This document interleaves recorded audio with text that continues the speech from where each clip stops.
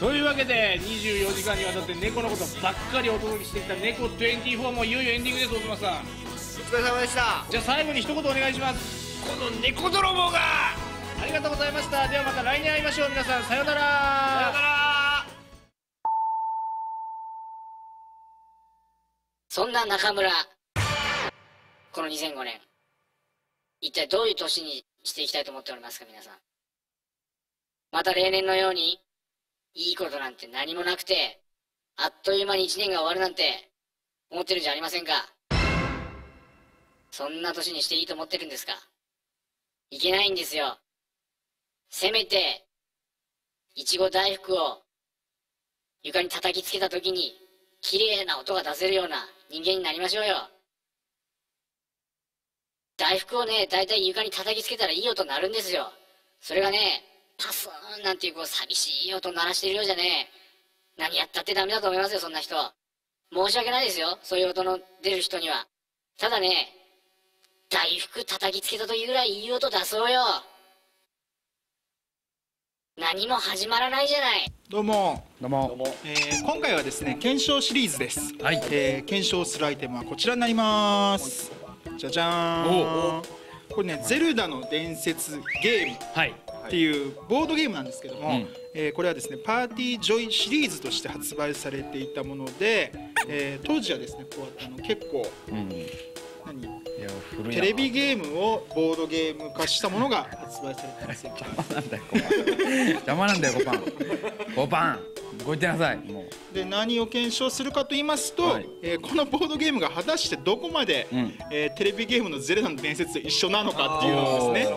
再現されてるはずですからねそうそうそうそ一応。うそうまあ一応まあオリジナルルールになってるんですけどもどこまでゼルダテイストが出てるのかっていうのを検証してみたいと、うん。あやってみると。うん、思います。はい。やってみましょうか。はい、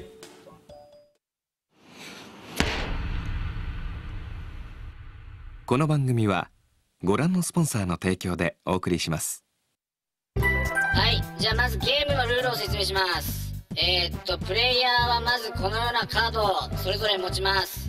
で、このカードの空いてるところ、ここを埋めていくというのがこのゲームの目的です、とりあえずの。で、このようなマップをですね、点々点々と自分のリンクを動かしながら、アイテムを集めていくわけです。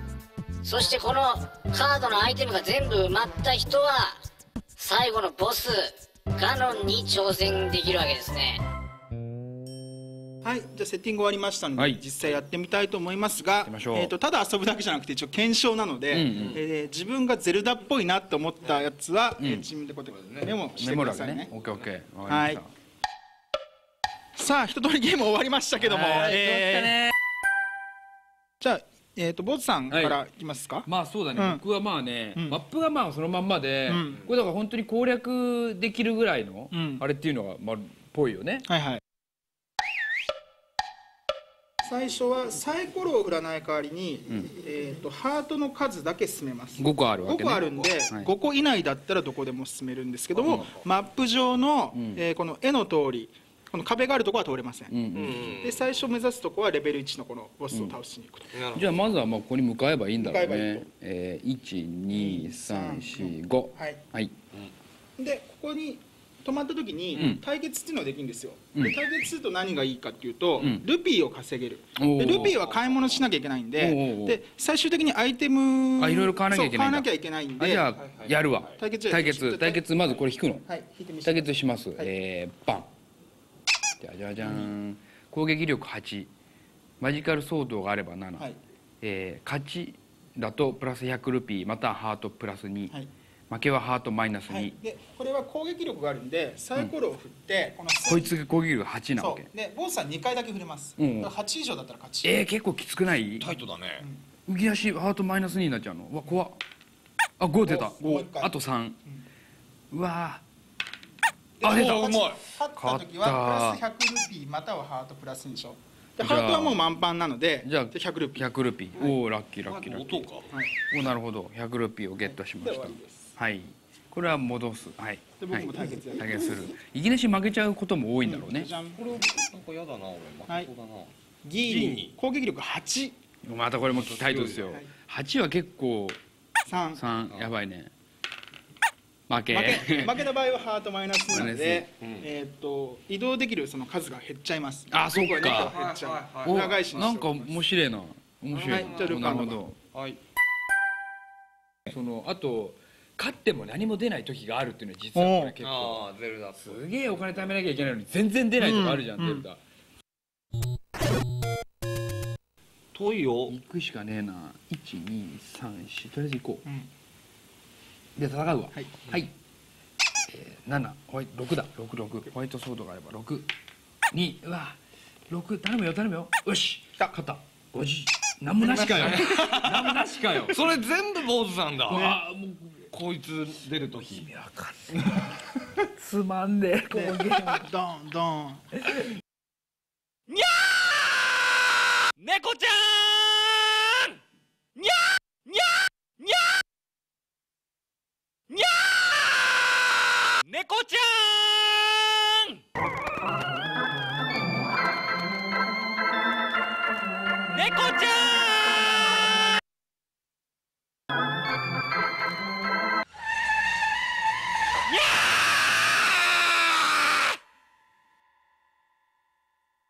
じゃあいいですか？はい。まあ、アイテム集めとかねルピーとかトライホース集めていくっていう喜びがあるのと、一方通行がある。あるのね。ね。ルパンが何回もハマった、はい何回もね。ハマった。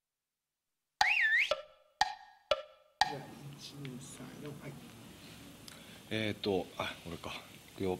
えー、1に上に登ります、はい。345って感じだね、はいはいよしじゃあ僕かな。えー、えっとあれどこだ？あれ？おあれ？俺あれ？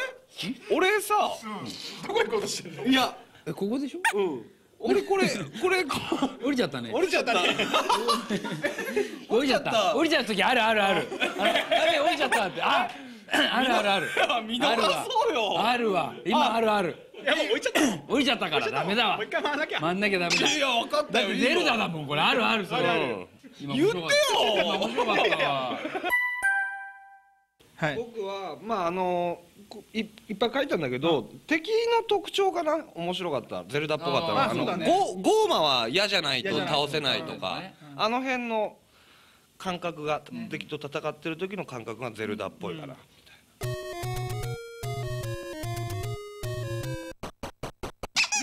は迷宮迷宮カードだよね、うん。迷宮に引き引きます。じゃじゃん。やべ強そう。グリオーク、はい。ハートの数だけサイコロを振ってソードが出れば勝ち。またこの確率なんだ基本的に。ハートの数ね。はいはいはい。4個。4個あるから。じゃあソードね、はい。剣ね。おお一発。なんか強えな。強い。ゲーム下手だけどこういうの強いじゃんい？やいややめおかしいな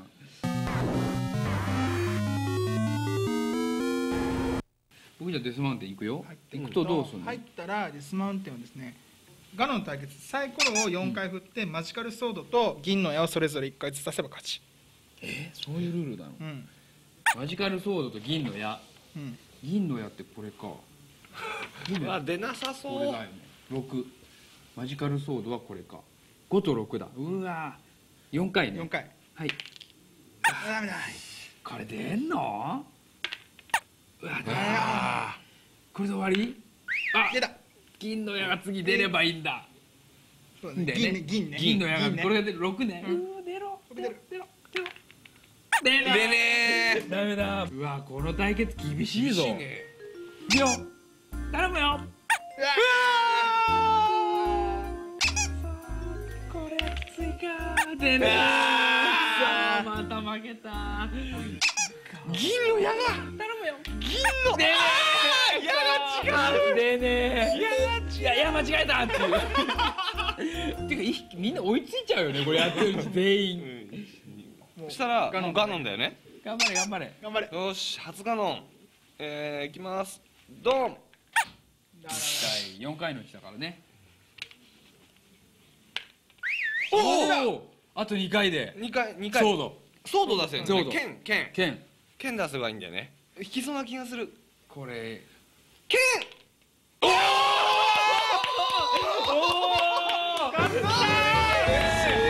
発だ。すげえルパンすごいわ。ねえ。ー、こんだけやって出なかったんだよだって。すごいって。やった。すごいすごい。これ最後めくってガノンを。お最後およいしょ原野入ビ社ビャーンって音してるよ。じゃんいろんな嬉しい。なんか意味なく達成感あるわ。これ。長かった。長かったね。えー、というわけでですね、今回はやってきましたね。ゼルダの伝説。ゲームはどこまでテレビゲームのゼルダと一緒なのかをっていうかねね。これだから要は、うん。ゼルダをやってる子が買うのか、うん。あの買えなくてあのないからこれでちょっと楽しみたいみたいな。あそれで当時買ったのか、うん。なんかそっちもあるよね。これであーゼルダやったらこんな感じなんだろうなみたいな。そういう寂しさ。ボードのさこの集まり具合とかはさぽいよね。ね。ぽいよね。うんまあそそるよね。雰囲気はすごくいい、うん。うんというわけで、えー、とゼルダの伝説ボードゲームはですね、はい。えーまんまテレビゲームのゼルダと似てたということで、はい。まあ2回やることはないと思いますけどね。はい、ではまた次回です。はい、さよなら